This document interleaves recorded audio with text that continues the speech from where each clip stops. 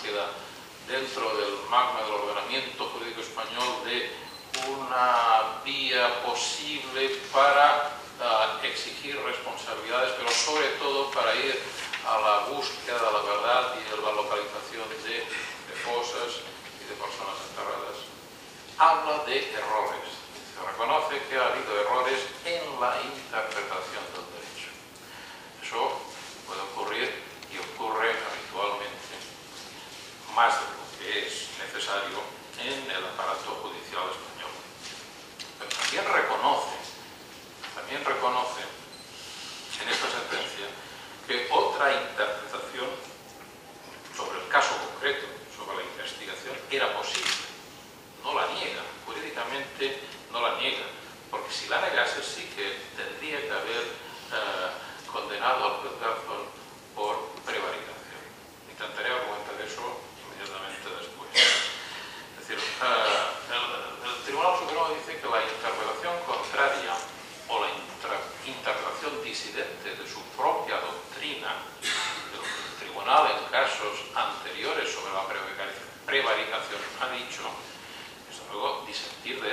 discrepar de eso por parte de un juez inferior, eso por supuesto que no es sinónimo de prevaricación, disentir no es prevaricar y por eso con mucha razón a, a algunos jueces y magistrados y magistradas, recuerdo algún artículo en diarios de difusión estatal, hablaban yo discrepo y no obstante no soy prevaricador, prevaricador faltaría más, faltaría más.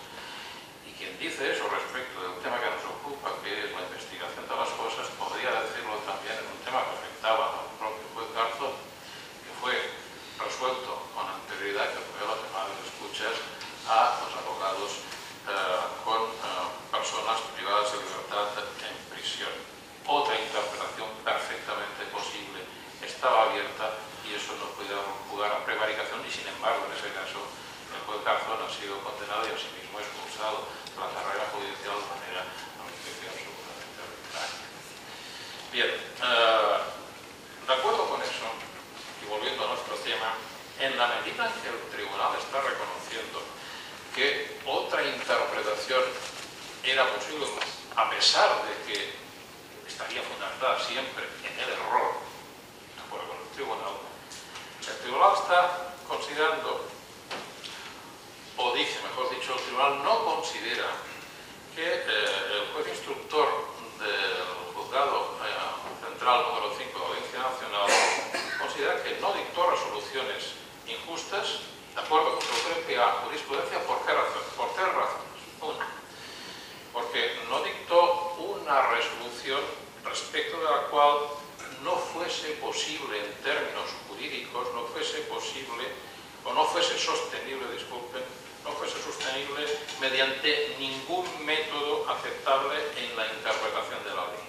La en el derecho obedece a una técnica, a una lógica, y esa lógica la debemos aplicar todos los juristas.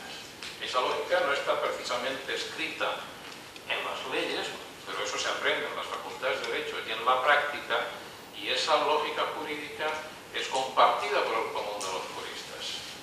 Si uno dicta una resolución absolutamente en las antípodas de esta lógica, pues o bien está desequilibrado o bien realmente es un prevaricador.